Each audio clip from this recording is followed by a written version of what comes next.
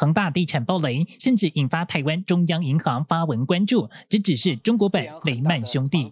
下一个，我们刚好可以感感受到中国的房地产的泡沫化的调整。这个负债用兆来算，但是呢，股价掉下去之后呢，都算港币的。你知道恒大今天的市值两百四十六亿港币，哎，两百四十六亿港币跟那个两兆三千六百亿的负债，那简直相相相差太大了。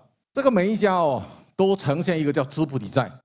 财经专家谢金河感叹：中国房地产撑出来的债务，最后一定土崩瓦解。其他陆企，碧桂园、富力、万科、融创，同样都是陷入危机，压力也会烧到中国金融业内需产业。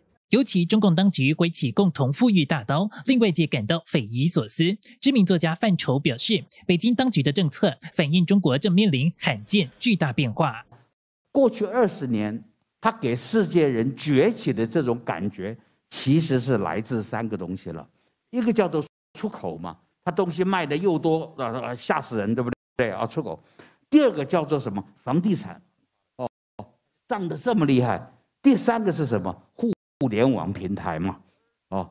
但这三个呢，就在最近的几个月里面，哦，最近的 就在最近的几个月里面，被中国的执政当局。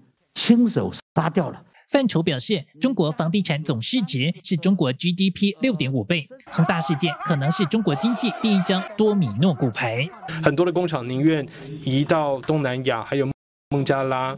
那所以再加上中国呢，现在缺乏了那些愿意扩张、愿意借钱的人，那么我认为中国经济就会在未来面对非常巨大的挑战。知名经济学家辜朝明认为，中国过去成长动力来自民间企业、西方国家，现在企业不敢投资，将很难跨过中等收入陷阱。如果当局政策不改变，中国经济将面临巨大风险。新唐人亚太电视沈维彤台湾台北报道。目前的所谓房经济学